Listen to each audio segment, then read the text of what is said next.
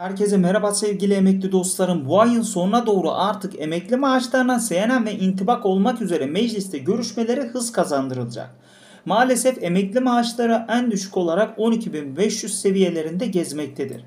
Geçtiğimiz haftalarda açıklanan durumdan sonra emekli maaşlarına ek olarak bu ücretler yatmaya başladı bile. Dul ve yetim vatandaşlarımızı da unutmayalım tabii ki de. Dul ve yetim vatandaşlarımızın aldıkları ücret en düşük emekli maaşından bile daha da düşüktür.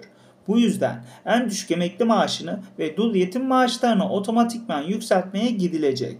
12.500 liralık bir maaş bir evin kirasını bile destekleyemezken nasıl olur da bir emekli vatandaşımız bu rakamlarla geçinebilir? Birçok emeklimiz artık emekliler, emekli vatandaşlarımız bankaların araştırmalara hız kazandırdı.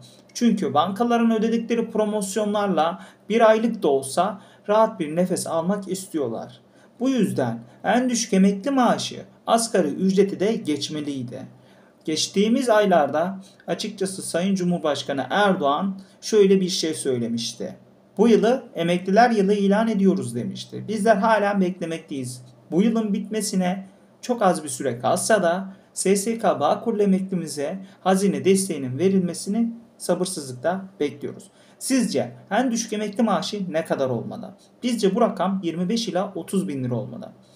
Yorumlarınızı aşağı kısmından yazabilirsiniz. Birçok yorumcumuz ise şöyle söylemiş. En düşük emekli maaşı 25 bin lira olmalı. Ki normal maaşlar 30 ila 35 bin lira olmalı. Ki doğru söylüyorsunuz. Kendinize iyi bakın. Hoşçakalın.